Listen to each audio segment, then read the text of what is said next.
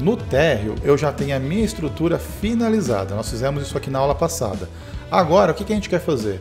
A gente vai subir para o forro e agora a gente vai fazer o lançamento das vigas aqui para depois a gente lançar as lajes. Logo após a vinheta, vamos lá?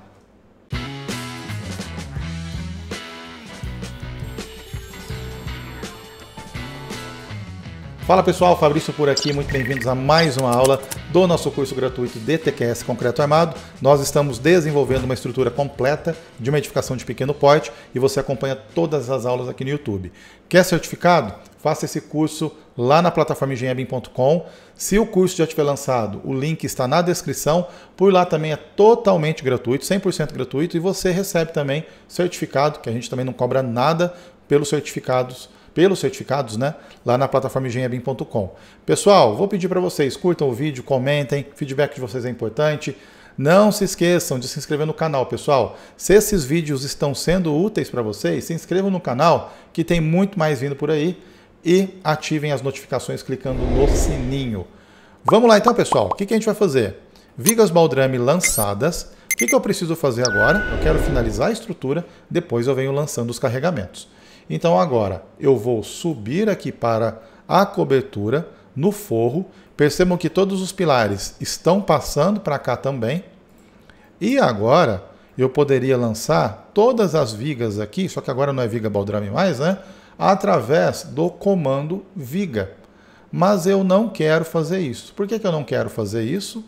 Porque eu já mostrei o comando para vocês e agora a gente pode vir em modelo, copiar planta e eu posso ó, marcar todos os elementos que eu quero copiar. De qual pavimento? Do térreo, só que eu quero somente as vigas.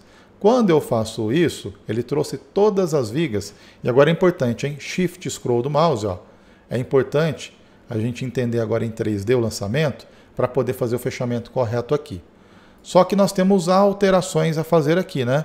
As vigas aqui estão com 15 por 40. Eu quero essas vigas todas de 14 por 40. Como que eu altero isso? Vamos lá. Primeiro, hein, pessoal? Eu falei para vocês que ia padronizar essas vigas aqui em 30, mas os vãos estão grandes, tá? Então, em um primeiro momento, vamos deixar essas vigas com 40 mesmo. Depois a gente analisa lá. Depois do primeiro processamento, a gente analisa a grelha, pórtico. Como é que eu posso alterar isso? Todas as vigas de uma vez só. Vem aqui em viga, coloca alterar viga, alterar viga, uma janelinha de seleção, lembra, sem clicar, sem pressionar enter, sem nada disso, só digita W ou D para fazer uma janelinha de seleção.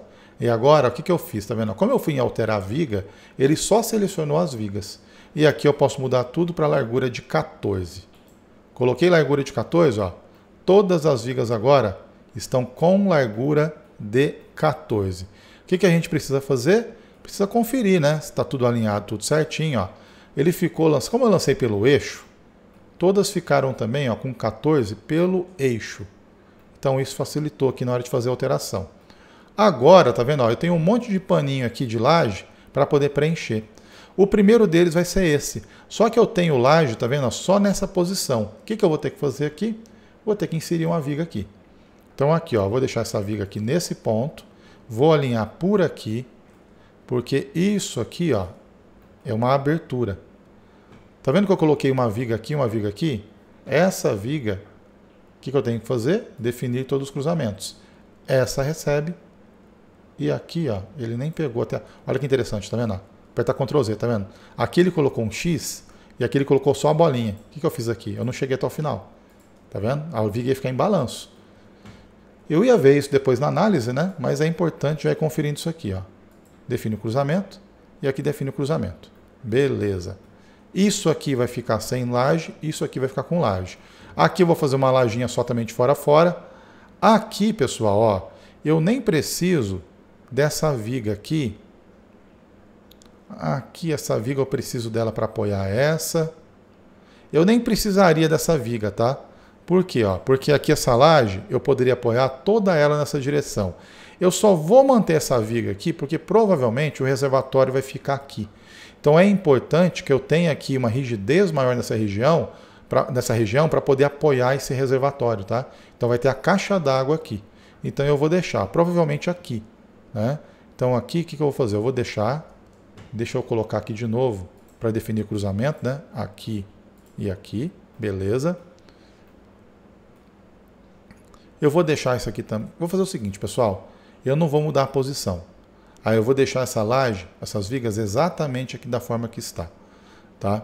Eu quero dar uma travada nessa estrutura aqui no topo. E aqui é o seguinte, eu poderia, o que, que eu poderia fazer aqui? Eu até poderia, que vão que ficaria aqui, vamos lá. Aqui ficaria com vão de 3,20. O que, que eu poderia fazer? Eu poderia aqui, ó, tirar todas essas vigas aqui e manter uma lajinha aqui de fora a fora. Poderia fazer isso, porque uma laje com 5 metros de vão, eu consigo resolver. Isso aqui também. Poderia fazer. Ó, isso aqui não, né? Isso aqui seria bom deixar assim.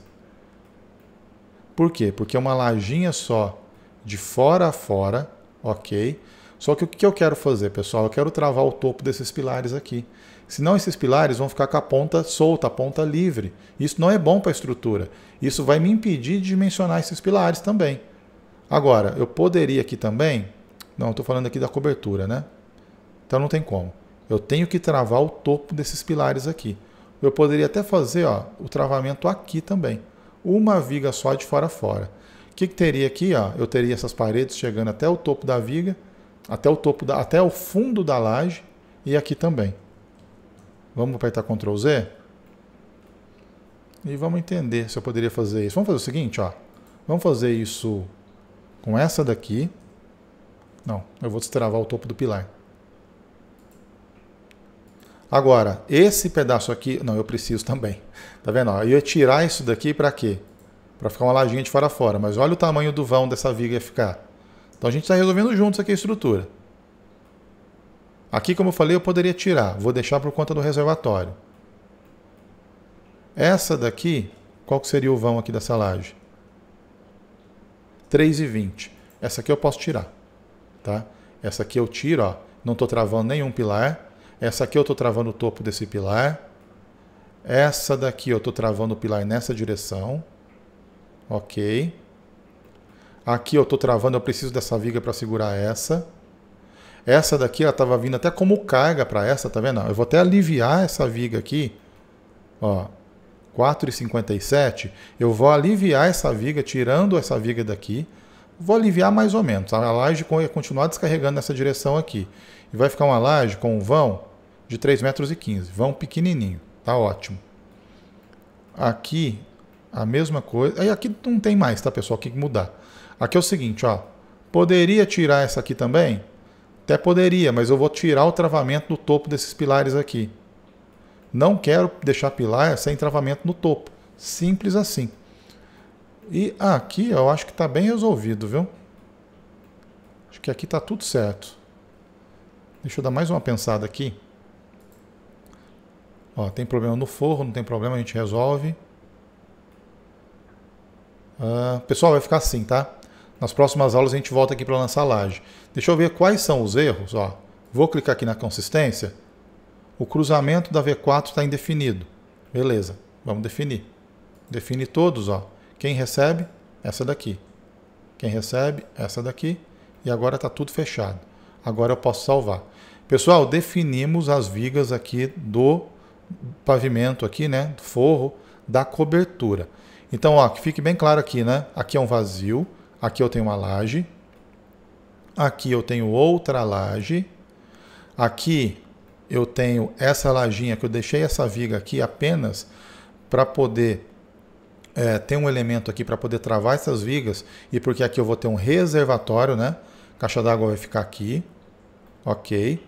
Ó, aqui essa laje aqui, essa viga para travar o topo do pilar e para segurar, apoiar esse vão aqui que já é grande. Aqui a mesma coisa, aqui também e aqui também. Travando o topo de pilar, travando o topo de pilar. Beleza. Essa laje vai ficar com um vão um pouquinho maior, não tem problema. Na verdade, essa aqui que vai ficar com um vão grande, né, de 5 metros aqui, um pouquinho menos, 4 e 4,80, 4,70. E tá tudo certo, pessoal. Vamos ver como é que ficou no 3D? Olha só. Bacana, né? Vamos voltar aqui também. Ó. Esse é o exercício que a gente tem que fazer. A gente tem que bater o olho na estrutura e duvidar dela a cada momento, tá? Cada momento a gente vem aqui, bate o olho entende o porquê que aquele elemento está ali e se ele não pode sair dali. Ó, olhando em 3D, tá vendo? Ó, olha só como é que fica mais simples até de entender. Ó, essa viga aqui é importante, ela vai segurar aqui, né? Eu vou ter talvez uma platibanda aqui, talvez não, né? Eu vou ter essa platibanda, aqui eu tenho um vão de portão, aqui para poder fazer o fechamento dessa laje, aqui é a abertura, fechamento da laje, aqui ó, essa viga para travar esses dois pilares, essa viga para resolver aqui o reservatório, essa trava pilar, essa trava pilar. Essa daqui de fora a fora. Eu preciso dela também, ó, principalmente por conta da região aqui dos pilares, né? Dos pilares, ó, do reservatório. Aqui também travando. Aqui eu vou ter uma laje e aqui eu vou ter outra. Pessoal, é isso. Deixa eu fechar aqui no 3D.